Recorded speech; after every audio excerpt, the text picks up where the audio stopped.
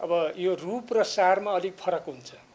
रूप चाहिँ एउटा असन्तुष्टि आक्रोश यो कुरामा दुई मत छैन कि युवाहरूमा अलिकति आक्रोश पनि छ आवेग पनि छ रोजगारीमा बाहिर जान पर्ने तीव्र हुटु हुटुटी पनि छ।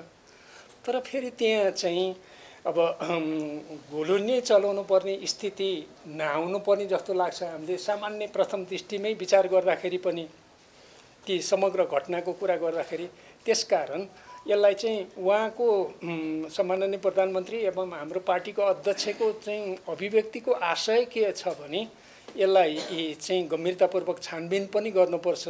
यो विषयमा सबैले गम्भीरतापूर्वक अध्ययन गर्नुपर्छ बुझ्नुपर्छ र अब लागेका कुराहरू चाहिँ आयोगलाई पनि हामीले सुझाव पनि दिन सक्छौँ सबैतिर सुझाव दिन सक्छौँ। यो त्यति स्वाभाविक चाहिँ छैन।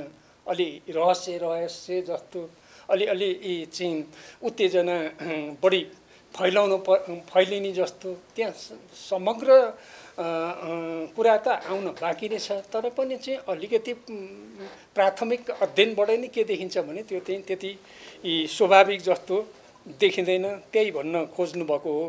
तर फेरि यो कुरा पनि तपाईँहरूले देखिराख्नु भएको छ नि अनेक बाहनामा चाहिँ अहिले अलि चाहिँ जनतालाई भड्काउने खालका अलिकति चाहिँ बढी चाहिँ अतिरञ्जित ढङ्गले चाहिँ विषयवस्तुलाई प्रस्तुत गरेर भावनामा खेल्ने कुरा त भइरहेको छ नि।